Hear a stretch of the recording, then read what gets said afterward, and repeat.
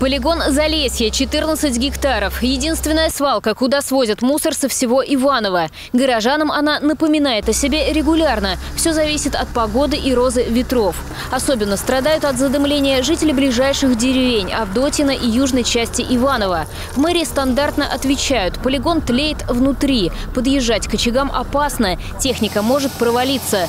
Чтобы разработать стратегию решения проблемы, во вторник на свалке провели выездное совещание – собрались временно исполняющие обязанности главы Иванова Александр Шаватинский, представители полигона, специалисты Главного управления МЧС области и Центра профилактики ландшафтных пожаров. 30 дней работаем, 30 машин золы нам нужно. Все. Мы сделаем за, здесь за, конус, сделаем запас, зала и есть, здесь зала, зала будет здесь в конусе. Фронтальник, если надо будем выделять, э, будет подвозить. Включая субботу-воскресенье, 12 часов в день работать и... будем. С залой пока проблемы. Никто из подрядчиков не вышел на конкурс. Однако вопрос обещают решить в ближайшее время. Еще один компонент тушения – вода. Рядом нашли подходящий водоем. Сейчас основная технология будет проливка, перемешивание с водой досыпка золы и утрамбовка не горючим материалом для того, чтобы формировался слой, который не загорится в следующий раз, даже если на него падут искры, э, да, или какой-то еще источник огня будет. И трубы для подачи воды на разные части этого полигона, ну, свалки, как мы ее да, в быту называем, ну, полигоны твердых бытовых отходов, они, конечно, нужны. Специалисты делятся. То, что пожар пережил зиму, неудивительно. Слои очень плотные. Кроме того, есть полости со свалочным газом. С помощью тепловизоров определили основные очаги возгорания.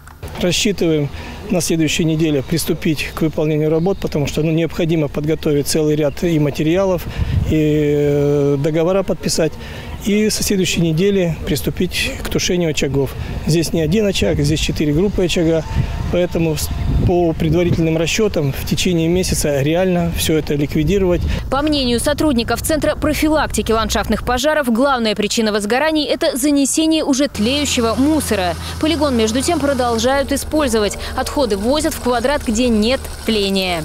Феврале суд потребовал от Дорожного городского хозяйства незамедлительной ликвидации тления и горения на полигоне Залесья. Однако свалка периодически горит и непрерывно тлеет. В мае дорожное городское хозяйство оштрафовали по административной статье. Чиновникам также внесли предупреждение о том, что неисполнение решения суда может грозить уголовной ответственностью.